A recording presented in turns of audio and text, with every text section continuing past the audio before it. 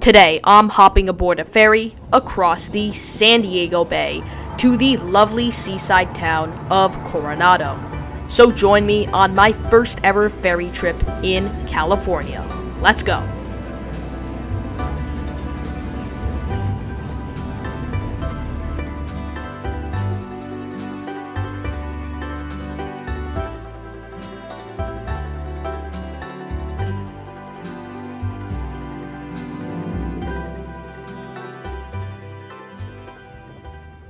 I start my journey today at San Diego's Broadway Pier.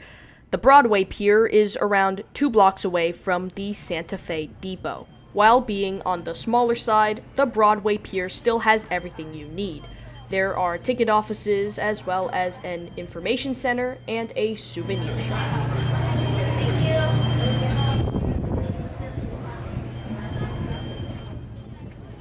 As we hop on board, I think I should provide a bit of context on what ferry I'm taking today. The ferry I'm taking is operated by Flagship Ferry. They operate two routes here in San Diego. I'm taking the longest route out of the two, which is between Broadway Pier and Coronado.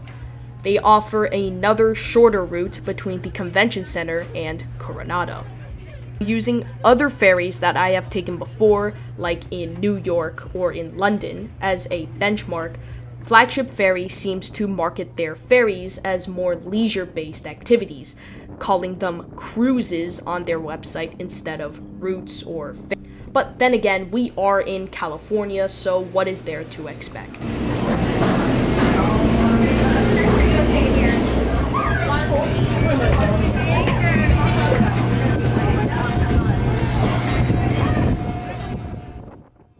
After heading on board, I make my way to the upper deck, which is my go to spot on ferries, as not only does it help me not get seasick, I also get to enjoy the view.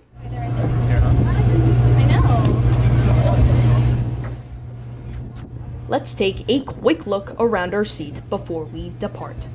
First things first, legroom is definitely not an issue. There is plenty of space for me to stretch out. As for the seats, calling them comfortable is a bit of an overstatement.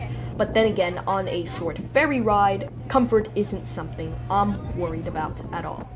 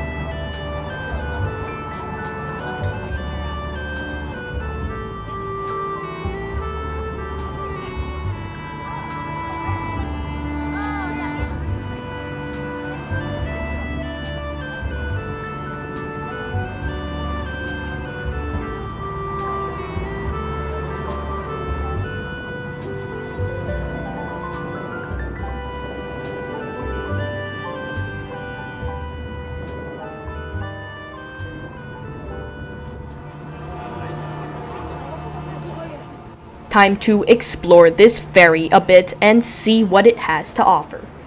First up are these beautiful views of the San Diego Bay. I think these are the best views I have ever seen from a ferry.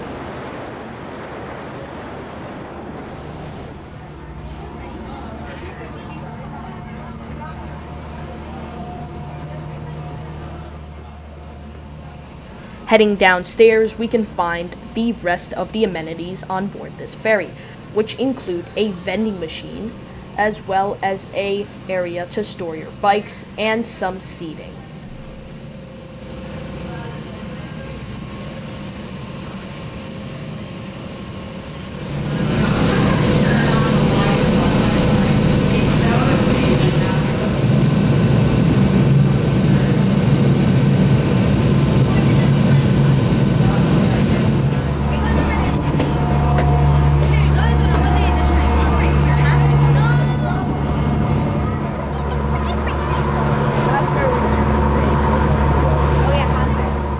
So, as we approach Coronado, what do I think about the ferry and would I recommend it?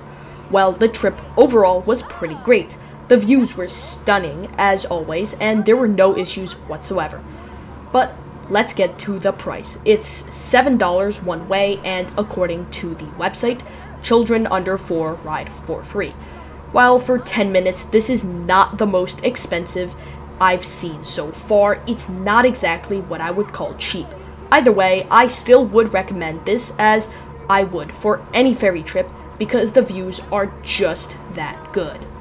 And with that, I hope you enjoyed the video and found it a bit informative as well as entertaining. If you did, I hope you consider subscribing to my YouTube channel. This is the 4905 here, and I will see you next time. Take care.